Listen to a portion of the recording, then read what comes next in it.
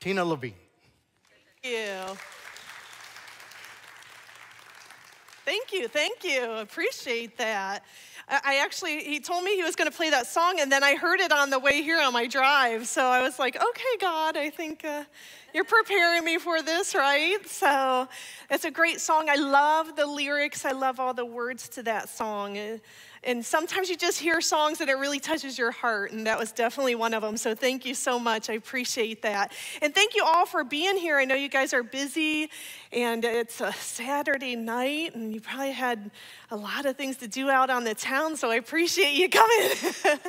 uh, so my name is Tina uh, Miller Levene, and I actually was born and raised in Central America, Ohio.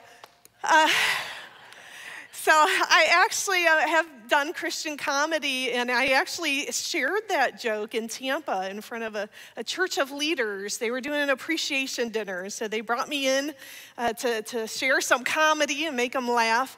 And I said that joke, and then uh, I said, Well, actually, if I was Hispanic, my name would be Latina. And this woman in the front row says, That's my name. and it was the pastor's wife. So it was hilarious. I was like, wow, that like sometimes when you do comedy, it just it, it, it's just you know God's like He writes all the material for us, right? It makes it easy. So uh, I appreciate y'all being here, and I, I love sharing my story. But more than that, what I love to do is to tell His story. And that's what this is about. This is about praising God and giving, it, giving Him all the glory uh, because I'm just a willing vessel. and that's what you're going to hear with my testimony is and i'm just a willing vessel. I'm just like i'm blind and i'm like okay god i'm going to follow you okay? So i'm going to try to uh, to go with my slides as much as possible. So when um, brian had asked me what the title of this was i was like wow i think walking blindly by faith and not drowning is pretty appropriate. Okay, so I, I brought my son up actually in faith, and, uh, and my son said to me when he was 18 months old, he says, Mama, we need to talk about my life. And I was like, oh, God. what did you give me? you know, he was just so wise for his age. And I'll share a little bit about his story and how he was just a, a divine appointment, let me tell you, a, a, a total miracle. Um, but one of the things I remember my son saying to me at five years old is he said, Mama, you have to be like Peter, keep your eye on Jesus and walk on the water. Five years old, my son was ministering to me. And so that's what I always think about is how we walk blindly and we're walking on water, you know. And if we take our eyes off of Jesus, we're gonna fall into that water and we're gonna struggle. And how often do we we spend more energy and time on our pain and we forget what our purpose is? Uh, so, if you are to walk away from anything today, I, I just want you to walk away with this that there is hope, no matter what you're going through. If you've had a medical diagnosis, if you've had something happened, you lost a job or, or got divorced or, you know, bankruptcy or, or repo. I'm giving you my whole history here. Infertility.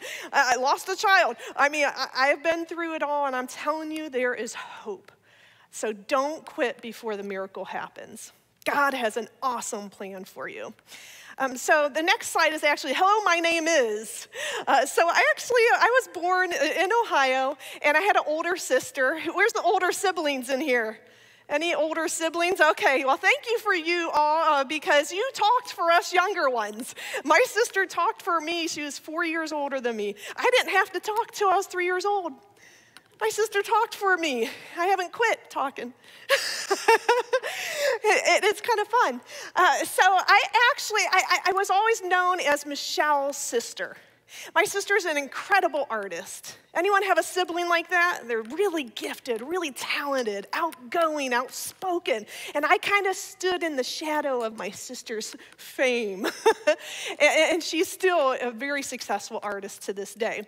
Uh, but I always kind of sat in the background. I didn't talk till I was three years old. I actually didn't have a voice uh, and didn't really find my voice until later in life.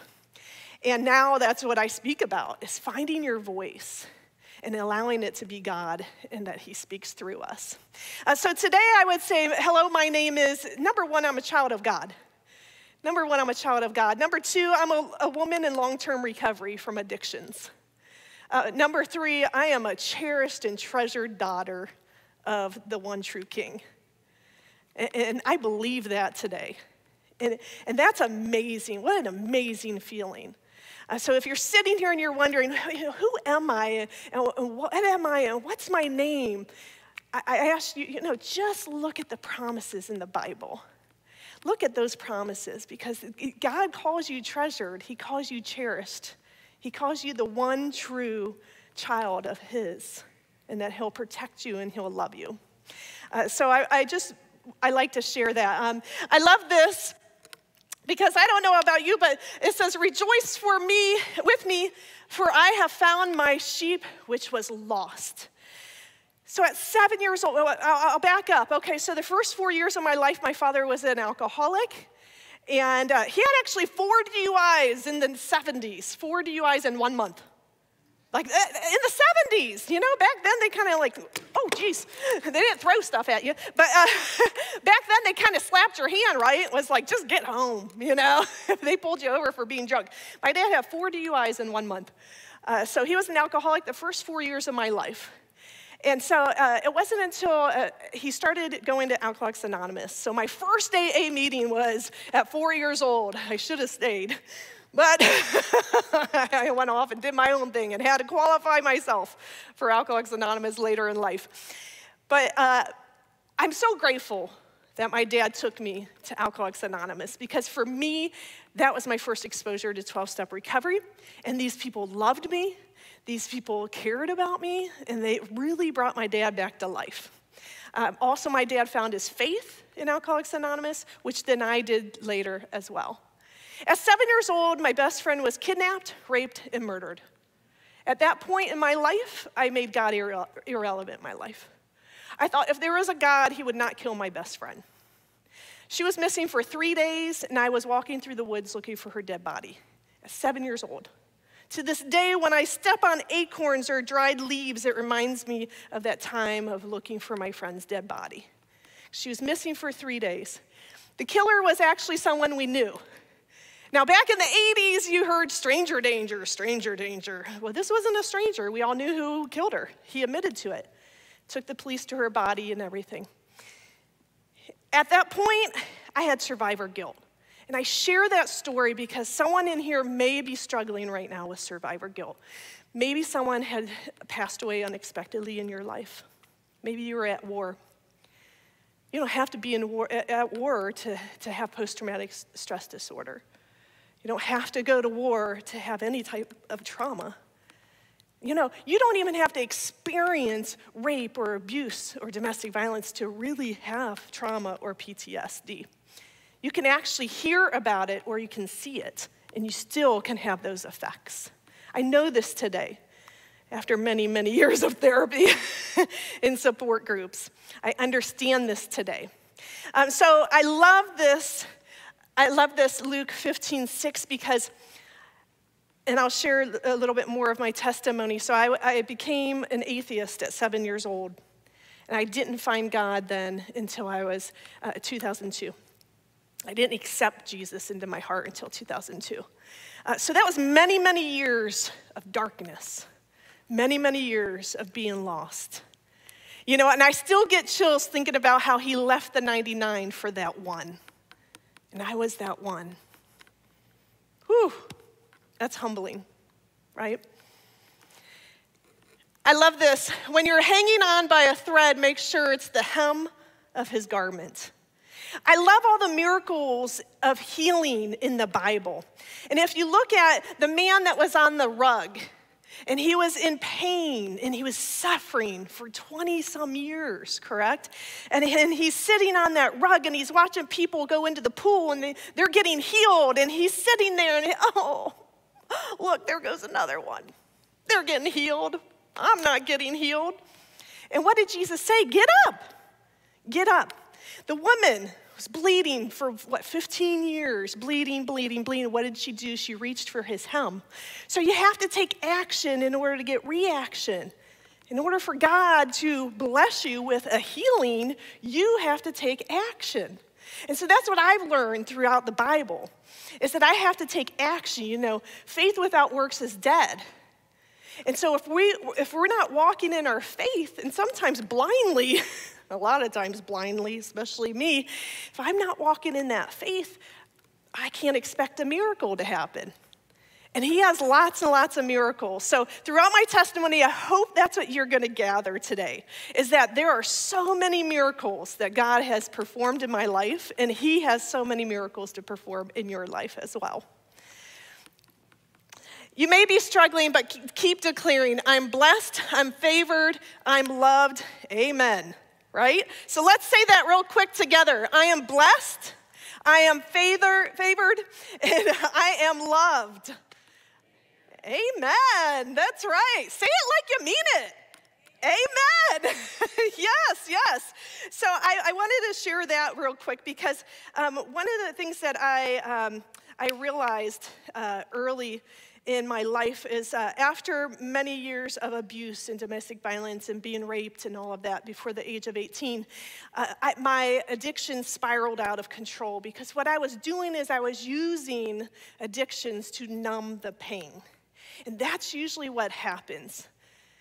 See, there's a stigma on the streets, there's a stigma in society that when you see someone who is abusing drugs or alcohol, that, oh, they're just a junkie. Oh, they just, they're selfish. Oh, they're just acting a fool. And what's happening is they're actually in so much pain, many, many times, and hurt, they're trying to numb themselves. Because to be drunk or high is more acceptable in their chaotic world than it is to be sober and living a life of recovery. Uh, and so, until they learn the tools to actually be healthy and to transform that trauma into purpose, you know, that's what I always say transforming that pain into purpose. And that's exactly what God did for me. Is He took all the pain that I had and He transformed it into purpose. I was in college and I was 19 years old. I had just smoked a bunch of marijuana and drank a bunch of alcohol. I ended up in the emergency room and they thought I was about to die. I had to be hooked up to all these heart monitors and everything. And I remember getting released from the emergency room, them calling my parents and saying, you know, we don't know what happened. She's walking out of here, had heart monitor on still. I walked home from the emergency room, and what did I do? I hit that marijuana pipe again, and I started drinking again. Because in my head, life would be much better if it just ended. And that's where I was at. That's where my addictions had taken me. I just wanted to die in the process of everything. But I was also a people pleaser. So I really, really wanted to treat other people like gold, and I wanted to treat them really good, but at the same time, I wasn't treating myself that, right, that way at all. One of the things I've learned in recovery is to treat yourself like your own best friend. And I do that today. I got a manicure and a pedicure yesterday. you know, I just love when they're like rubbing your feet. I'm like, oh, yeah, I'll pay anybody a bunch of money just for that. You know, that's some great stuff. And then they actually paint your nails and toenails. It's like great, you know. So today I treat myself like my own best friend. But there was a time, and I'll give you an example. There was a time I would get gift cards for my birthday or Christmas. And what would I do with those gift cards? I would buy other people gifts. Anyone ever do that?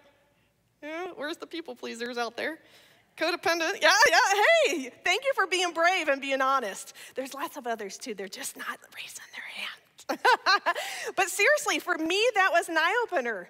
Like, here I am using my gift to buy other people gifts. That's very, very codependent and people pleasing. And, you know, that was a gift for me. So I've actually had to learn okay, I can treat myself, and I'm worthy of that gift. And so that is something I've learned in recovery. That's a miracle in itself. So actually, so I'm in, uh, I'm in college. I failed nine classes. This is not something I'm proud of and I still owe my dad a bunch of money. my dad always jokes around and he says, You know, you say you never blacked out, but I remember this one time you must have blacked out because I told you you're going to owe me for every class you failed. like, oh, wow, I must have blacked out then. so I failed nine classes. A, a couple of those classes, bowling, dinosaurs. the math, and a bunch of other classes. But I guess you're supposed to go to class or you fail. So I actually, I get kicked out of college. Now, mind you, I'm just drinking and using drugs and, you know, not going to classes. It was a big party. My parents did the hardest thing that they had to do, and they told me, You're cut off. My dad says, I'm not gonna pay to watch you die. And I was, oh, I was mad. Oh, how could you do that to me? Oh, I was so mad at them, and I didn't talk to them for six months. Oh, I hope they think I'm dead. I was so angry at them and resentful. But what were they doing? They were saving my life. It was the hardest decision for my parents to cut me off financially. But what it made me do is I had to get jobs then to actually afford my addictions. And what I realized was I can't afford my addictions. And so at 23 years old, well, let me back up. Okay, so when I was kicked out of college at 22 years old, I, I wrote a letter. I quit doing drugs because I thought that was my problem. I was drunk. I write a letter to Dean. I thought his name was Dean at the university. I said, Dean, I'm drunk. It's on a notebook piece of paper with pencil. Dean, I quit drugs. I'm kicked out of college. Please let me back in. Tina it was all scribbled. I mean, I don't have nice handwriting, anyways. Those of you that bought my books, I'm sorry. If I need to translate, just let me know. I have horrible handwriting, but can you imagine? I'm drunk and I'm writing this letter to Dean. Uh, and so Dean actually has some grace for Tina, and he allows me back in to college on academic probation. I always joke around. I was on academic. I was on probation five of my six years. Uh, it was academic probation. I never got caught for any other stuff. Um, so I, I actually I, I, go I go back um, to college and, and to this one class, and I walked into this class, and the professor looks at me. She says, "Who are you?" And I said, "I'm Tina." Now remember, when I was little, I didn't have a voice. Remember, I was abused. I was raped, domestic violence. I was a victim. I didn't have a voice. She says, Tina, it's your lucky day. You're to do a classroom presentation. Are you kidding me? She says, Where have you been the last six weeks? I'm uh, uh, drunk and high. And she's like, Okay, great. You're to do a classroom presentation. Oh, gosh, are you kidding me? And so she says, it, it's, This is a child development class. It's to be about your childhood. Oh, she, she was about to regret that. And so each classmate goes up and they do their presentation. And the first girl goes up and, and she goes to read hers and she's like, How children learn to say the alphabet. Everyone starts clapping, yay, after her presentation. Another young lady goes up there, she's How children learn to tie their shoes. Ah. I go up there. How kids deal with the murder of their best friend. Was silence. And, and then someone gasped.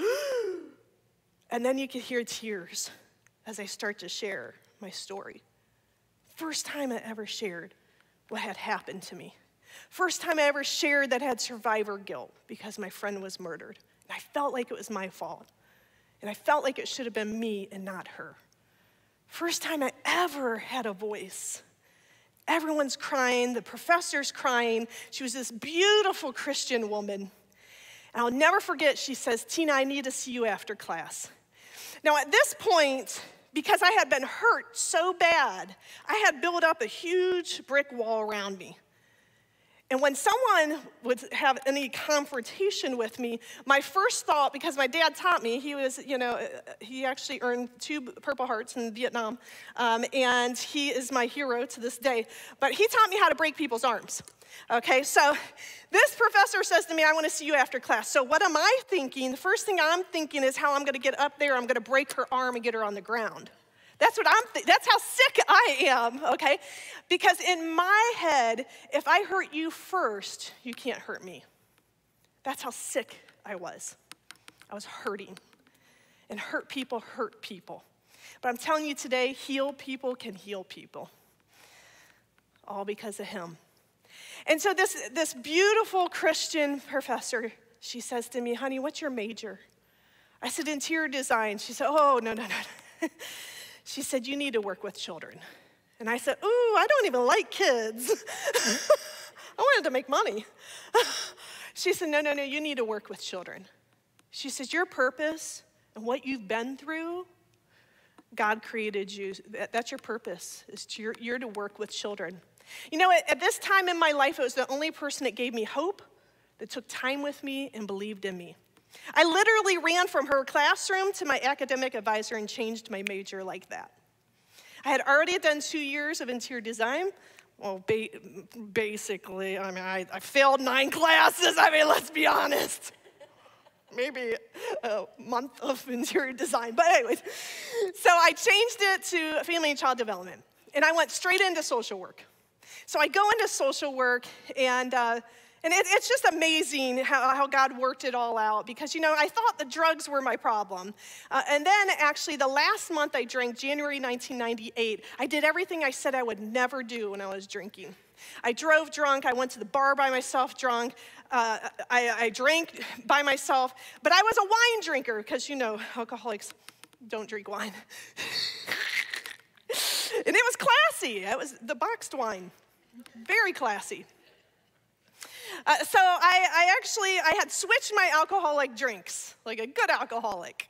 You know, I went from hard liquor to natural light, the classy stuff, and then uh, the boxed wine. Uh, because you know, if you're a female, 23 years old, and you're drinking boxed wine, you can't be an alcoholic, right? Uh, wrong. so I actually, what I had learned, I was going to Al-Anon, and I started to work the 12 steps. And I started to realize, wow, I got some issues. I thought I thought it was all my dad's fault. I was like, oh, he really screwed us up. and then what I found out was I am an adult and I'm responsible for what it is I'm going through. And I'll never forget in Al Anon, it's another 12 step recovery program. And they suggested you find a sponsor. And so I'm looking around the room like, who's going to be my hostage? and I see this woman, and she's just the happiest thing. She's just full of energy and joy, and she's so happy. And I'm like, I just wanted to puke. And her name was Lenora. Isn't that beautiful? So I go up to Lenora. You look pretty happy. You want to be my sponsor? She, oh, oh, I would be so blessed to be your sponsor. she has no idea. okay, lady.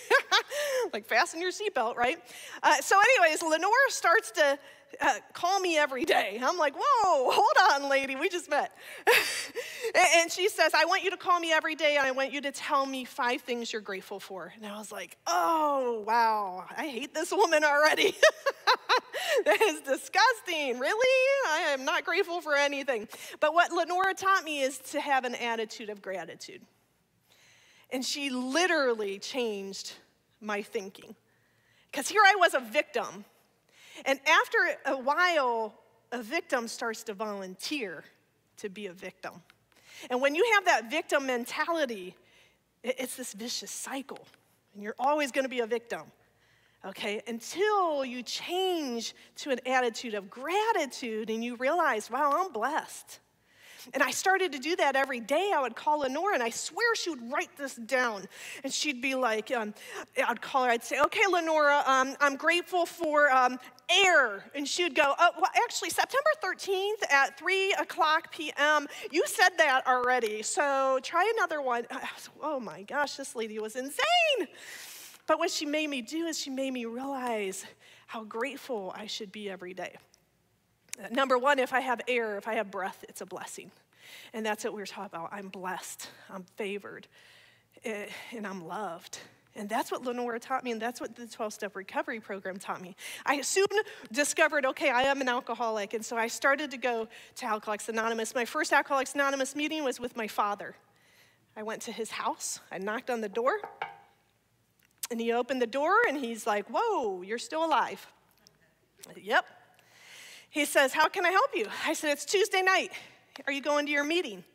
He says, Yeah. Why? I said, Well, Dad, I, I think I'm a pickle. And he goes, Oh, does that mean you like girls?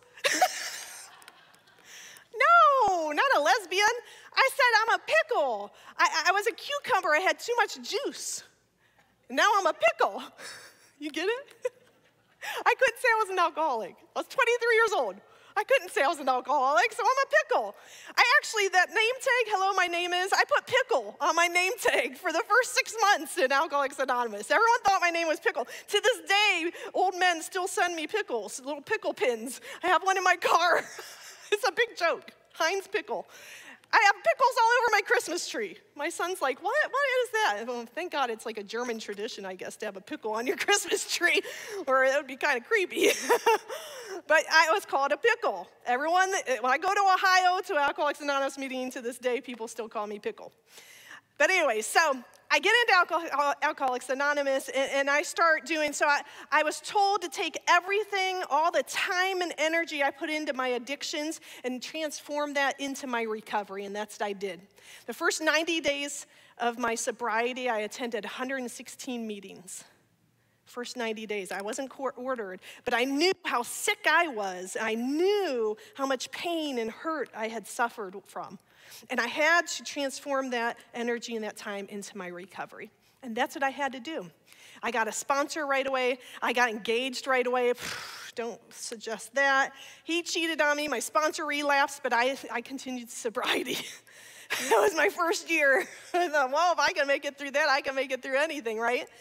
Uh, I actually, I, I met my ex-husband in 2001. I worked on a cruise ship because I had gone straight into social work, got really burned out, went and worked on a cruise ship. I had met my ex-husband. Uh, we wanted 10 children. We got married in 2003. We wanted 10 children. We started to practice and practice and practice and practice.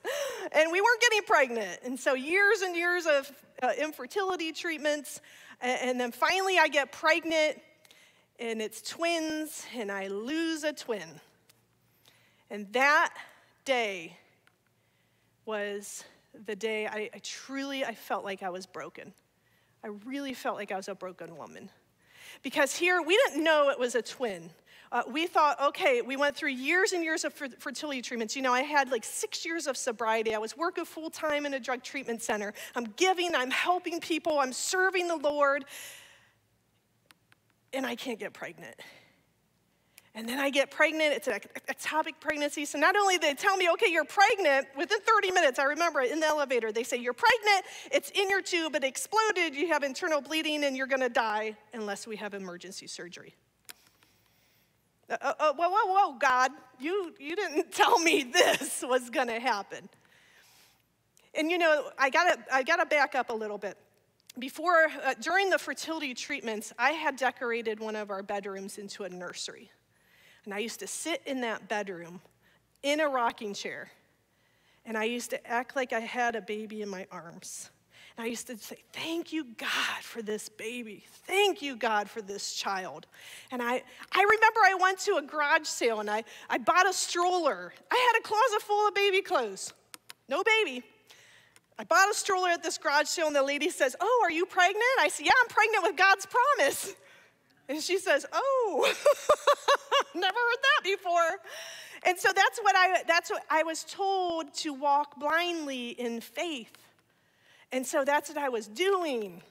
Is I was making room. I was making a room for God's promise.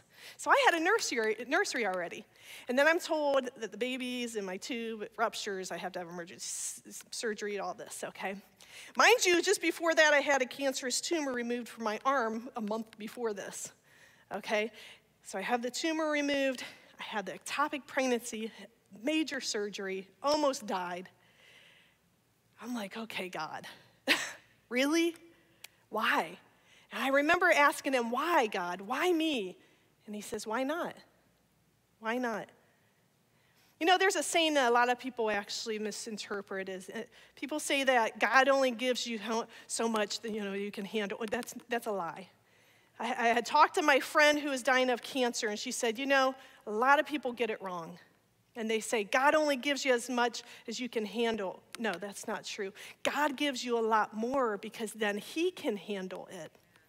We have to rely on Him.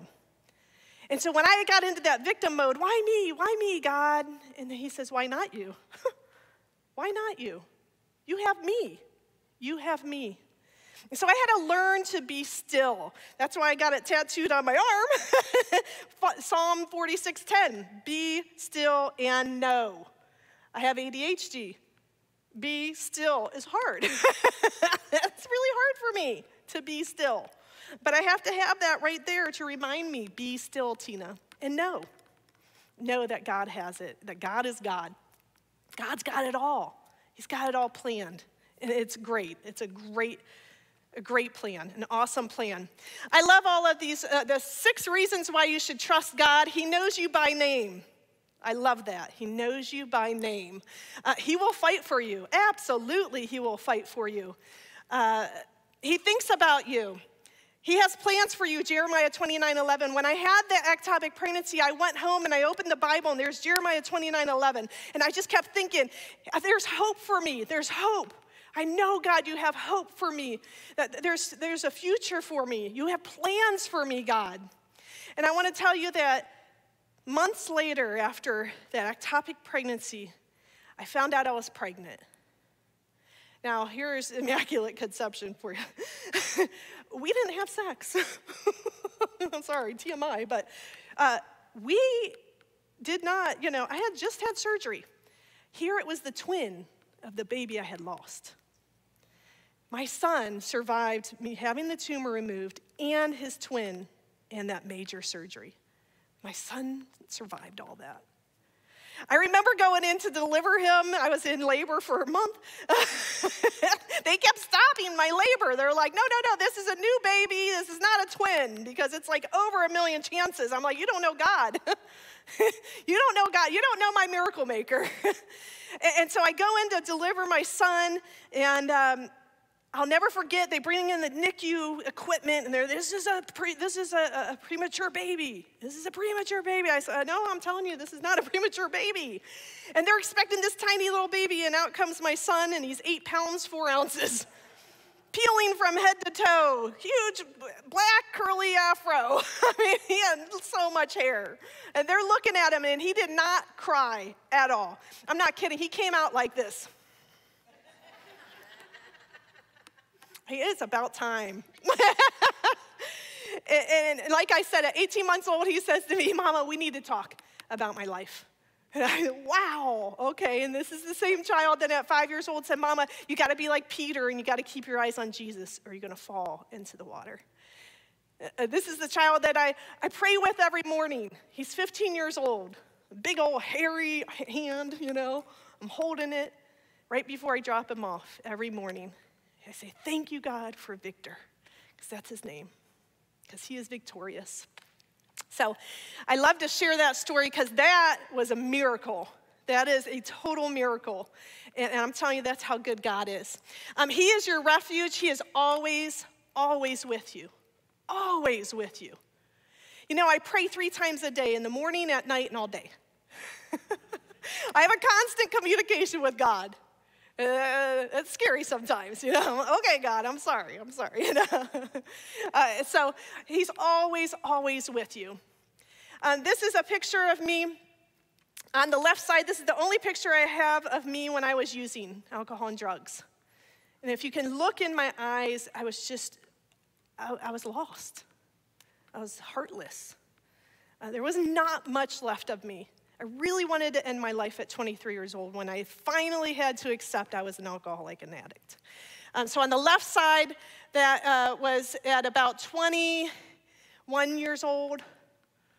And I'm telling you, I had done every crime. I should be in federal prison right now, to be honest.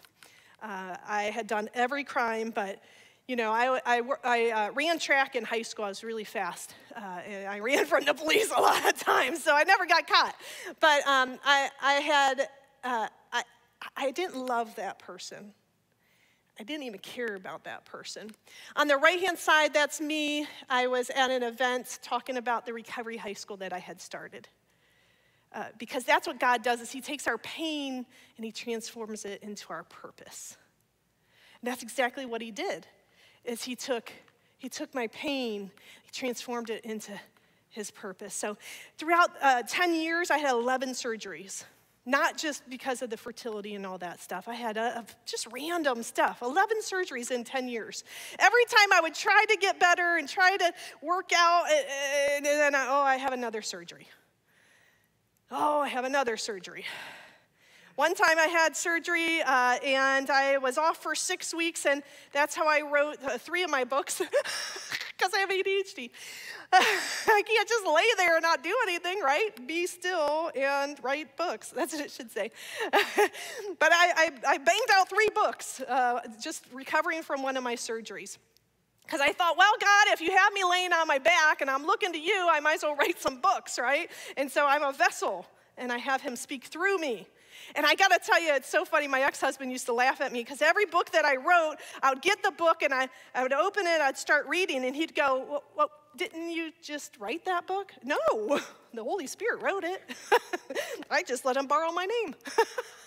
It's just my name on the front, but the Holy Spirit wrote it. To this day, I had an author contact me. She says, uh, Tina, can I quote your book in my book? I said, sure, what's the quote? She tells me, I said, oh, um, let me look that up. Are you sure I said that? but yeah, thanks, you can quote me. But it's the Holy Spirit. You know, when you become an open, willing vessel, God will speak through you. And I encourage everybody to write a book. And you know, I actually, I was praying about this earlier um, actually uh, yesterday this saying i spoke uh, to hospice nurses and, and, i said this it was in my devotional i said this to them and then i was praying about this so maybe someone in here needs to hear this. I didn't cause it i can't control it i can't cure it. And, and when if you are impacted by someone's addictions i want you to remember that. You didn't cause it you can't control it and you can't cure it okay? Um, that's freeing. That is a freeing, freeing. When I finally learned that and, and, to let go, you know, it's okay to care for people. You know, they say about, uh, in the Bible, it says about, uh, you know, helping your brother and your sister in that to lighten their load, but it also says cast your burdens on him. We're not to carry around everyone's stuff. You know, we're to cast our burdens to Him. So, yeah, we can help one another, but guess what? We have to cast our burdens to God because He's going to take care of it. He's big enough. He's big enough. Uh, one of my books, so this was my first book, Let Your Lessons Become Your Blessings. And this is why someone had said she is a voice of hope. Someone said, I'm medicine for the soul. Isn't that beautiful? I think it should be tweeted. Um, so, Let Your Lessons Become Your Blessings. This, this book uh, took me 14 years to write. I wanted it to be a, from a place of healing, not a place of resentment or pain or, or hurt. Uh, and uh, this is a book that, for every book I sell, I donate a book to a woman in drug treatment, in the strip club ministry, which I used to do. strip club ministry. Uh, first time I ever went to a strip club, I was praying with the dancers. Uh, um, a woman in um, drug treatment, prison, jail. I have actually donated 472 of these books. And I gotta laugh because on social media, one of my friends took a picture of my book. She says, I know this author, and she puts it on social media. I said, Oh, where are you? Are you, are you at Walmart? Are you at Barnes and Noble? She said, No, I'm at Goodwill. because when you donate books to women in prison or jail or drug treatment or strip clubs, some of them just, you know. I'm gonna try to think that maybe they read it and they just wanted to pass it on. but hey, you know, I always encourage them hey, if you're not going to read it, you can always sell it on eBay and get, you know, five cents. so, this, Let Your Forgiveness Become Your Freedom, that is the worst selling book ever. Nobody wants to forgive. no, I'm joking. Uh, actually, since I've been doing that joke, I've sold a lot of them, so it worked. But um, let your forgiveness become your freedom. Uh, this is a book because I had to learn how to forgive myself. That was the hardest part.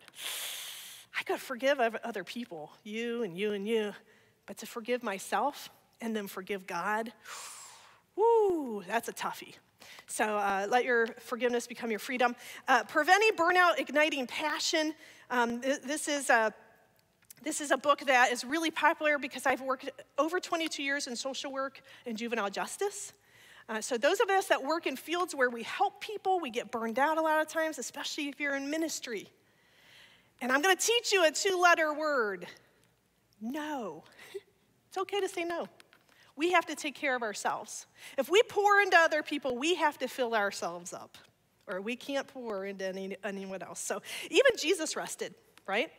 So did Lazarus for a couple days. Uh, the other book I have is A Heartbeat of a Real Leader. This was my fifth book I wrote, my most professional book. And, uh, and so this is really popular for professional development and ministry leaders as well. And uh, so, what I really want to share with you is um, this, this, oh, this heavy, this heavy metal. so, um, 20 years ago, I was always very athletic. 20 years ago, I had this dream of being in a bodybuilding competition. And I just couldn't eat right. Uh, I, I was on this, you know, food plan where I would have a salad and then two Reese peanut butter cups. I just could not eat right. And it, my personal trainer says, you know, Tina, um, if you want to get into bodybuilding, you have to eat healthy. oh, I can't have peanut butter cups. and so I, I said, oh, wow, I'm just not ready to, for that commitment. And so he says, well, I don't want you to waste your time or your money. And I was like, okay, well, then I'm not going to, you know, work for this. And so that was 20 years ago. Um, 10 years ago, I started to work out again. I got another personal trainer. Guess what he told me? He's like, you have to eat healthy. Abs are made in the kitchen. That's what he said. I said, well, I'm not ready for that commitment. Jeez, people. He says, well, I don't want you to waste your time and money. all right. And so I carried on and I gained a bunch of weight and I ate peanut butter cups and everything else you can think of. And then September of last year, I started to fast. And guess what I fasted from? sugar. Because I was using sugar like I was using all of my other addictions.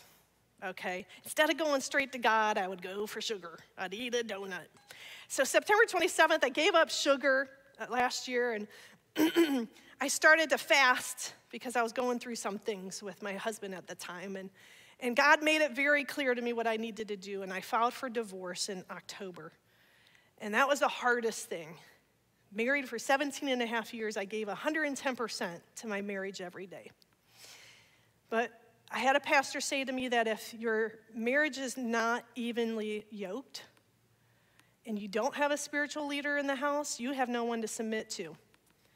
And so I prayed about it, and God confirmed to me. And He's confirmed time and time again that that was the right decision uh, for me to get divorced. Actually, uh, when we sat down our son to tell him we were getting divorced, he says, It's about time. Yeah, it's about time. So, you know, we were thinking, that, oh, that magic age of 18, we'll just wait until our, my son is 18 and, and then we'll get divorced. And, and he's 15 and he knew. He knew. And he loves it now. He loves because he gets quality time with his dad and he gets quality time with his mom. And, and so it, it's all good, but it was still very, very rough. I, I, there's nothing that, that you could plan uh, for what you're going to go through when it comes to a divorce. It was very rough. And so what I did is I thought, okay, what do I have control over? I have control over what I put in my mouth, right? Uh, I have control over what I do with my body. You know, there's a pandemic going on, a lot of people are gaining weight, and what do I do? I start eating healthy, not eating sugar, and I start working out. And so I'm happy to say January, uh, July 31st, I competed in my first bodybuilding competition. It's the old ladies category, 40, 45 plus. and, uh, and this is my medal, and on the back it says uh, sixth place. I was sixth place um, out of six. I usually don't say that. Can you edit that out? when, I, when I told everyone, I was like, I'm I put it on social media, on Facebook. Oh, yay, I got a medal. They're like, what place? Sixth place. Oh, out of how many? 150 competitors.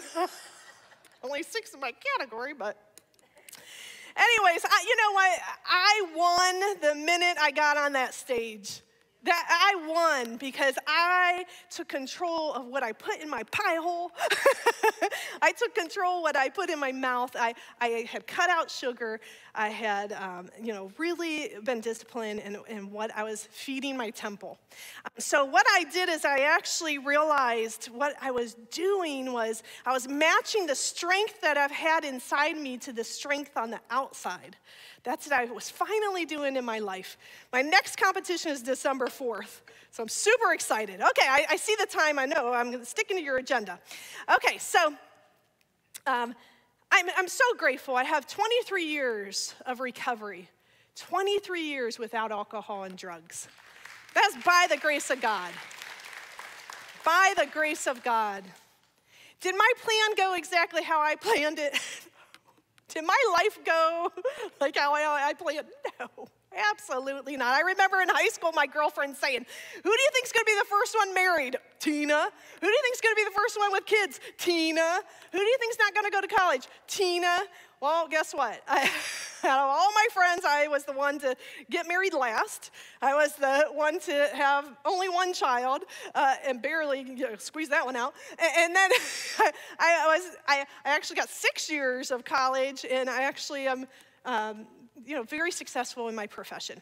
I want to share with you that, um, real quick, uh, I, I opened a recovery high school, the first recovery high school in Tampa Bay and it is for teenagers struggling with addictions. I want to share with you, real quick, if it's okay with you. Um, this is, so it's called Victory High School, named after my son. And uh, he helped me name it, of course. Uh, he helped me pick out the logo, he helped me pick out everything, the colors, he helped me uh, with everything. And, and he helped me with this victorious creed. And so every day we do a mental health check in to start off. Because our priority, our number one goal is to keep our students alive. I don't know if you know there's an opioid epidemic. There's a drug epidemic, and it's killing our, our teenagers. Um, so, number one, I want to keep our students alive. Number two, I want to emotionally and mentally stabilize our students. And then number three, maybe they'll learn something. okay? Um, and this is the Victorious Creed. This is what we actually say together every morning. This is them saying it. The Victorious Creed recovery is possible. I deserve to be healthy.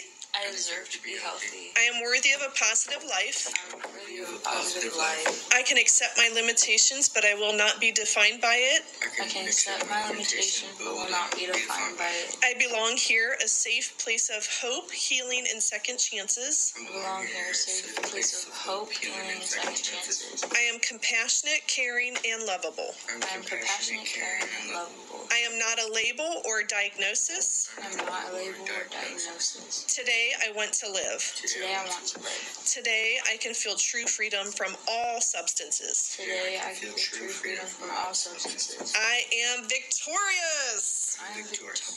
Oh, come on, say it. say it like you mean it. I am victorious. I. come on. That's, that's what we do every day.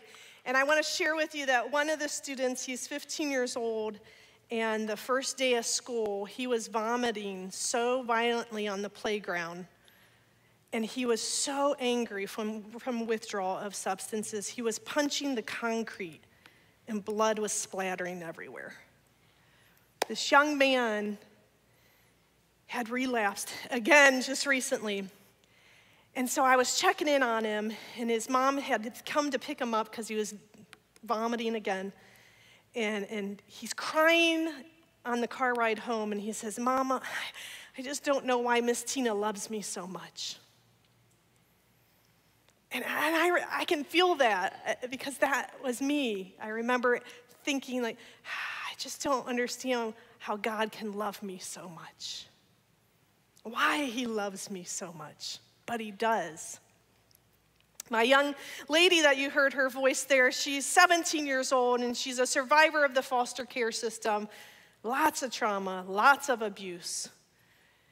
And uh, she says to me, two weeks into this school, they are, the, both of them started in April. And she says to me, Miss Tina, Victory High School makes me want to live. Wow. You know, God took that, that, lo- that lost woman that, that, that felt broken and, and like a loser, and, and He's using me to help these teenagers, to give them a little bit of hope, and that there's hope for healing. Healed people heal people. And so uh, I, I, share that with you because um, th- that's our purpose. That's exactly, you know, God takes our pain and He transforms it into our purpose. Uh, so I do have my books over here. I, I would love for you to come over, um, and um, I, I, accept cash, checks, chocolate. Um, children, if you have any, I love children. Uh, I, also, I also have some CDs. I have um, Michael W. Smith. Um, I have uh, Kirk Franklin. I have Matthew West if anyone wants to buy.